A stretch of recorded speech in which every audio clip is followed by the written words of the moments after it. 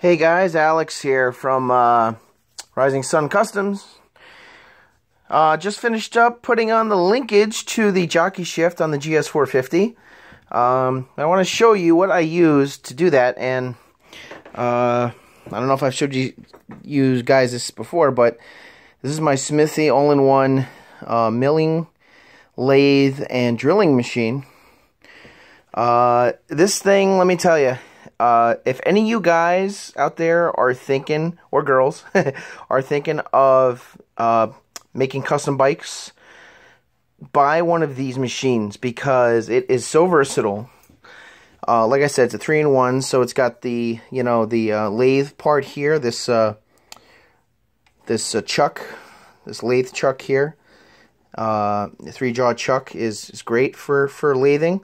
Um, this is the milling part of it a milling uh, a mill a mill end uh, on there on the machine that I have right now, and that's what I use to make the uh, that's what I used to cut out this uh, shifter handle to fit the linkage to fit the linkage uh, uh, end the end link for the shift link. As you can see, it's all done.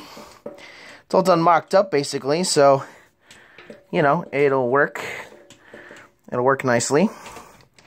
Um, I got to change this mount here, this aluminum mount. This has got to this has got to be changed out for a steel one because, as you can see, it's a little bit flimsy.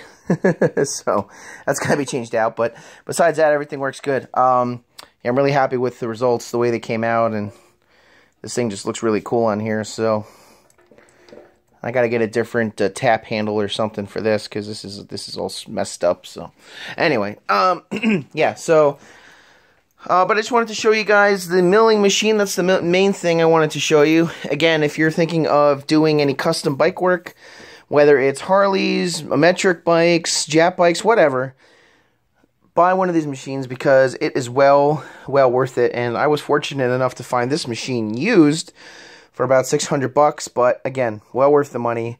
One of the best purchases I ever made. You can make your own parts. Uh, if you want spec, uh, specific uh, spec measurement parts, you can make them yourself. You don't have to wait to have them made, you know. Uh, making them yourself is way cheaper. Trust me, this thing just uh, is... this thing is this thing's awesome. That's all I'm to say. This thing is just freaking awesome. So... Again, if you think about getting one, just buy one. Anyway, um, that's about it. Just wanted to show you that. And, of course, the progress on the bike and the GS450. It's getting there.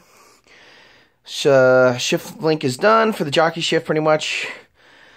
Next, I think I'm going to uh, take out the motor and uh, do a little bit more welding and grinding on the frame and get the frame out to powder coat soon.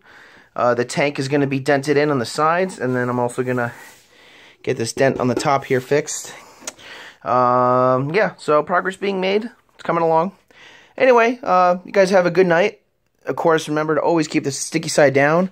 Please like, subscribe, and share here on the YouTube channel for Rising Sun Kustoms. And you guys have yourself a good evening. Take care. Bye-bye.